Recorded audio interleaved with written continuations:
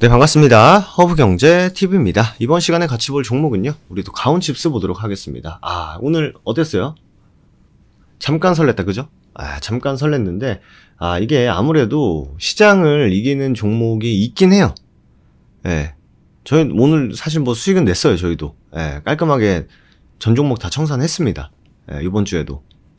이런 시장에서도. 예. 근데 사실 또 가온칩스 영상을 보시는 분들이 예, 가온칩스도 물론 더 많이 중요할 수 있겠죠. 사실 저는 오늘, 그러니까 저는 솔직하게 그냥 있는 그대로 말씀드리면 AI 쪽이 좀 갈 수 있겠다라는 생각을 어제는 좀 많이 했던 것 같아요. 예, 셀바스 헬스케어인가? 셀바스 AI 얘네들 보면서 아, 이 얘네들이 조금 움직임이 좀 있겠다라는 생각을 했는데 트리거가 뭘까? 아, 결국 이 AI를 올릴 이유와 명분이 분명 있어야 되는데 저는 굉장히 또 재료를 중앙 중시 어, 생각을 하는 또 투자를 하고 있으니까 전 재료 없으면 아예 안 하거든요. 그래서 어제가 저희도 이제 뭐 VIP 매매도 하고 뭐 무료 종목도 당연히 어제 또 두 개 청산했으니까 오늘 또 나가야 돼서 종목들을 고르고 있었는데 AI 쪽에 눈이 계속 갔던 건 사실이에요. 예. 근데 아 도대체 AI를 뭘로 올릴까? 아 AI 올릴 게 뭐가 있지? 생각을 했는데 아 마땅히 생각이 안 나더라고요. 그래서 아 AI 도대체 뭐가 있지? 했는데 오늘 아침에 이제 어, 눈 뜨고 일어나면 바로 이제 미장 체크부터 딱 하는데 미장이 빠졌어요. 2% 빠졌는데 아침에 MS랑 알파벳이 올라갔어요. 장 끝나고. 예. 미장 끝나고 나서. 그래서 얘네들이 왜 올라간지 딱 뉴스를 보니까 MS에서 이 AI 반도체 쪽에 대한 긍정적인 얘기가 있다 얘기가 나오더라고요. 그래서 아, 이거였구나. 근데 사실 그것까지 알 수 있으면 너무 좋죠, 사실. 예. 거의 뭐 천재면은 아니면 상상력이 풍부하면은 그게 될 텐데 이미 사실 어제 밤에 저희가 이제 공략할 종목을 다 뽑아두고 네, 이제 아침을 맞이한 거죠. 네, 저희는 또 계획되지 않은 매매는 아예 안 하거든요. 저희는 뇌동 매매 없습니다. 네. 저희는 무조건 아침에 신호 나가요. 장 전에.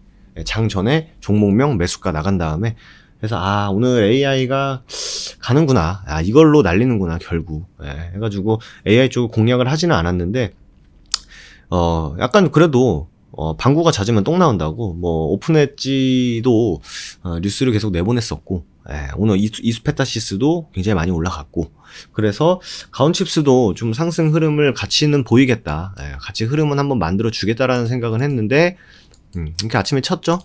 아침에 치는데 어, 시장을 이기기에는 좀 역, 역부족인 이 테마가 식상하면요. 그러니까 식상하다는 표현이 한 번 해먹은 테마가 정말 엄청난 파워풀한 진짜 와 이건 대박이다. 아 이거는 완전 난리 나겠다. 라는 테마가 아니면 다시 올라가는 게 여간 쉬운 게 아니에요. 그리고 제가 어제 아 최근에 계속 AI 쪽으로 눈을 어, 돌렸었던 가장 큰 이유의 종목이 바로 이겁니다. 여기서부터 제가 보기 시작을 했어요. 네. 거래도 좀 터트려 주고 얘가 왜 거래가 나오지? 뭐 그러다가 요즘에 트렌드거든요, 여러분들. 이거 그래서 마음 AI를 보고 여기까지 이제 보고 어제 이제 좀 추려놨어요. 어제 좀 추려놓고 이게 아마 선이 돼 있을 거예요, 그죠? 네, 이렇게 막판까지 끌어올리길래 근데 시간에 밀렸단 말이죠. 그러면은 제가 보고 있는 가격 구간들이 이 가격 구간들이었어요.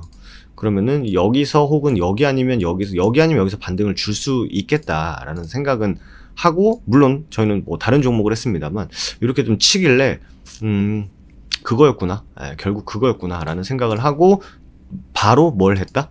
가온 칩스를 봤다. 가온 칩스는 사실 뭐 차트상으로 매력적이지는 못했죠. 냉정히. 에, 그리고 후발 주자 애들이었고.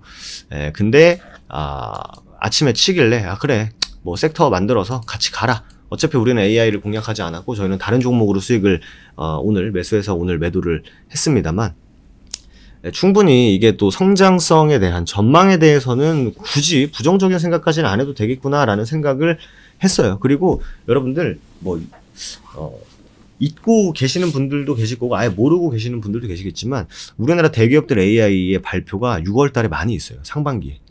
네. 네이버도 그렇고 KT, SKT도 그렇고. 네. 근데 아무래도 좀 테마다 보니까 좀 선반영이 좀 있었던 거고 그래서 1분기에 많이 날린 거죠. 주가를.